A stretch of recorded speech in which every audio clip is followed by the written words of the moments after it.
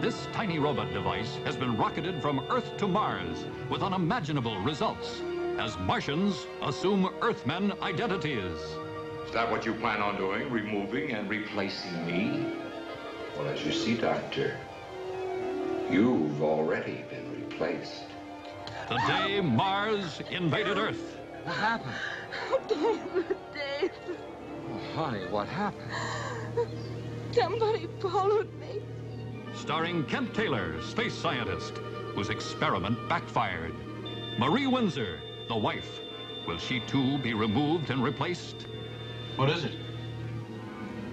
It's unearthly. William Mims, marked for Martian vengeance.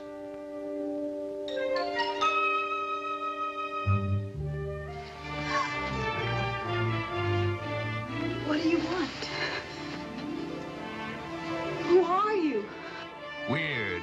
Terrifying, nightmarish, but too terribly hair-raisingly real. Why have you brought them here? You can't harm me, Dr. Fielding. I don't believe you. You have the weapon. You may use it. No! No!